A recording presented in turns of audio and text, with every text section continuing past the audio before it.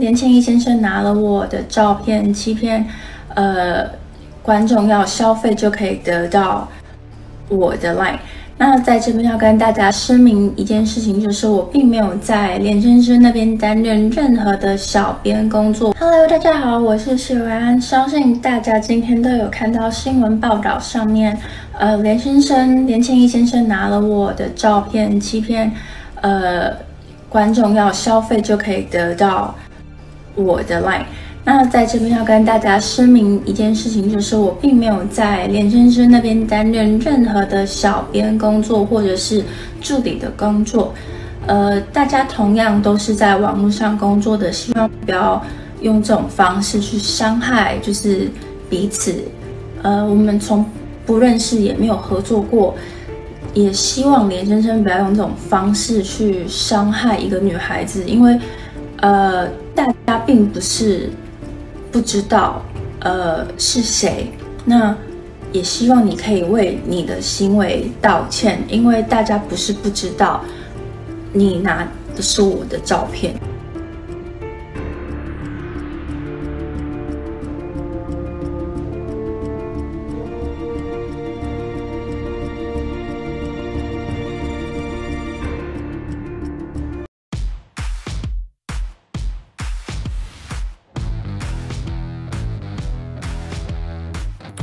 哎，先开始分享啊！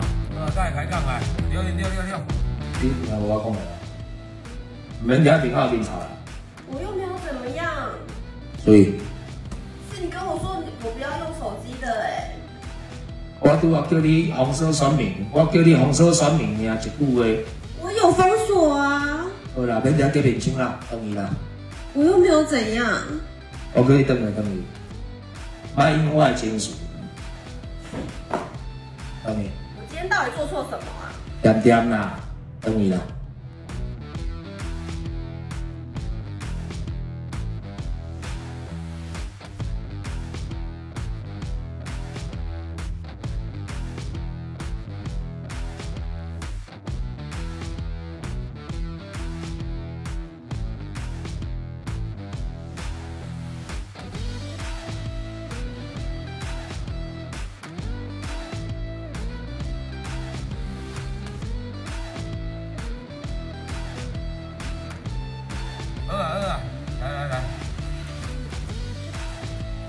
来先开始分享啊！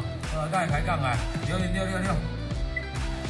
来发财金，发财金吼，先一个人，发财金今麦先一个人，来一个人先三千，好，交三千来。来最后留言的哦，最后留言的十位，来准备下结标线，来抓最多分享的人哦。